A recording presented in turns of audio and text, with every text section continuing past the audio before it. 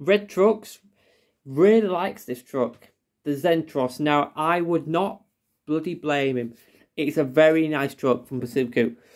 And if you get the majorette version, you're just thinking it's fucking unrealistic. If you get the Siku version, it's more realistic and it sees how big the tyres are because the Zetros is a very off-roady water tanker truck. Hence why I got it because I really do like these trucks. And Berkshire has one in the UK. Probably now replaced by a Volvo FL or plastic Iveco cab truck, unfortunately. So, I said in the thing, I'm going to go in more detail, spend some more time in this truck. Because uh, I arranged it with the fire engine this morning, didn't we? Yep. So, like I said, it's got like, bouncy wheels, uh, bouncy suspension. Let's look at the bodywork first underneath the truck. So underneath we have twin axles, a spare wheel, some bits and bobs at the bottom. Lots of screws. Uh, that's quite nice.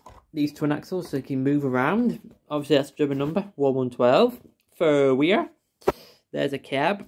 So in this truck, and I'm not quoting, you can actually fit uh, three crew members in there. You can actually three seat, three seats. Very bizarre. Here's the front of the truck, Mercedes Zetros. Two light bars, which I think they need a bigger light bar for that truck. It's got like a engine thing because it goes off road, might go in water, so need like an exhaust pipe in the air. It's got mirrors, which are very nicely tensioned. Uh, it's got nice nickel light. Mercedes badge Siku 300 bat number plate. It's got like indicators on the top as well. It's got like the NG237.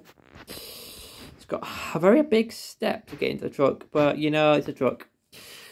On top we have a ladder, which I'm trying not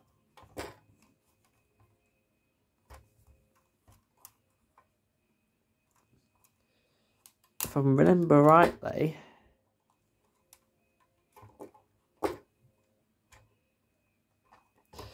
the ladder's meant to come off. The ladder's meant to come off the truck, but I don't think it's working. Okay, back to the pump. We've got a little tiny light by the back to show you the lights are. There's your pump.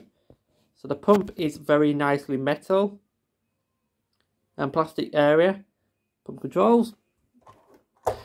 Like I said in the new arrival video, the truck has lots of details like the hose wheels. Um, it also has shut-in lockers, so you can shut them and open close the built. And I'm pretty sure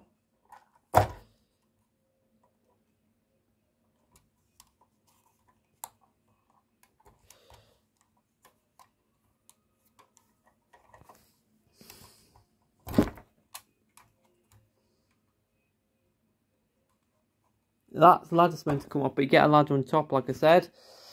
Uh, more bits and bobs to the side here, which also shut if you wanted to. It's got a little snorkel, which turns around, and you can move up and down. Little opening hatch as well. More stuff this side, like hose reels and stuff and bobs. There's a cab.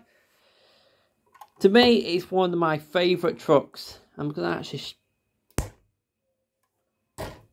Okay.